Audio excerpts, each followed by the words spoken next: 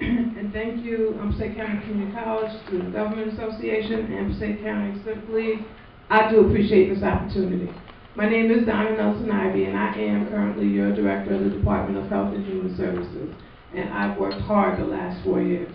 Yes, the mayor is absolutely correct. We are very close to being under total state control. We have to ask permission just to employ somebody. We have to ask permission to write a grant. And that's because we also receive transitional aid. We need to get out from needing transitional aid. Then we can get the state out of here and we can take care of our own business.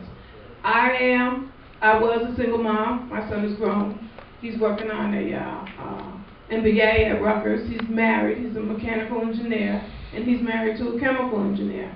It's not easy being a single mom. My husband passed away when he was 12 years old, so I know about stealing from Peter to pay Paul in order to get things done. I know about managing budgets. I manage currently a $10 million budget.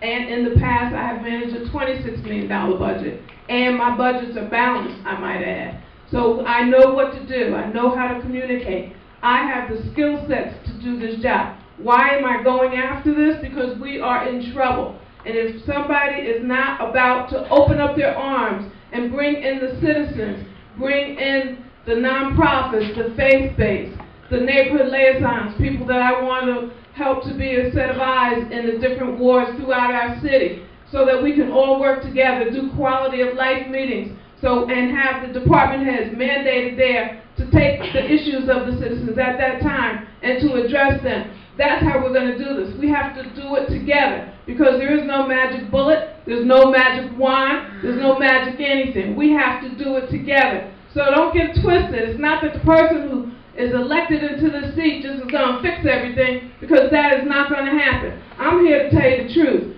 We need your help. We need everybody's help. This has to be a business community as well. This has to be a unified, working force or work in progress to fix Paterson. We need to get Paterson back on track, and we can do it. I have effective communication skills.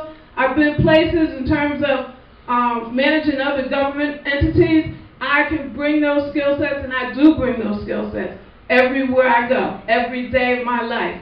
I'm an effective communicator and effective leader. We need consistency. We need compassion. We need credibility. We need honesty. We need integrity. And that's what Donna Nelson Ivy is all about. Thank you so much. Please hold your applause. We want to be